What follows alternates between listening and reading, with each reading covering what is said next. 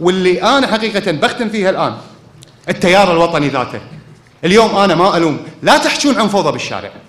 طالما ما عندكم مشروع وطني بديل تطرحونه. لا تتكلمون عن شباب خايف على مستقبله خايف على الأموال اللي يفترض انها ضمانه لمستقبل أبنائه وأبناء أبنائه.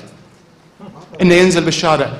حط مشروعك قود الشباب مشروع في إصلاح للسلطة التنفيذية والتشريعية. بل وحتى التعديلات الدستورية. مو غلط.